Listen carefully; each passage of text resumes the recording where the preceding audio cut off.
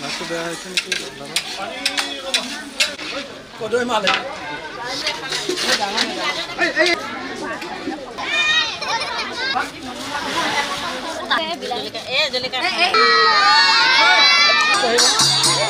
দোকানবিলাকতো বুজাই দিয়ক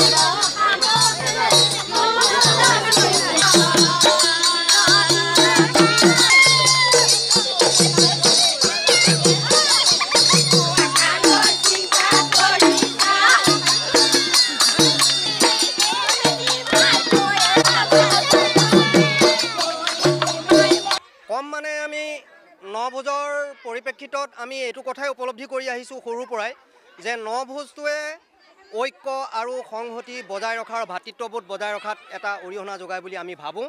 সেয়েহে কঁকালভাগী গাঁও উন্নয়ন সমিতি আৰু ধ্ৰুৱজ্যোতি তৰুণ সংঘৰ যুটীয়া প্ৰচেষ্টাত আমি আজিৰ পৰা ছমাহৰ আগতে আমি প্ৰতিশ্ৰুতিবদ্ধ হৈছিলোঁ যে আমি এইবাৰ ন ভোজ খাম আৰু এই পৰম্পৰাটো ক্ৰমান্বয়ে কমি যাবলৈ ধৰিছিলে। কিন্তু আমি এইবাৰ ধ্ৰুৱজ্যোতি তৰুণ সংঘ আৰু কঁকালভাগী গাঁও উন্নয়ন সমিতিৰ যুটীয়া প্ৰচেষ্টাত আকৌ আমি ইয়াক পৰম্পৰাটো জীয়াই ৰাখিবৰ কাৰণে বিচাৰিছোঁ।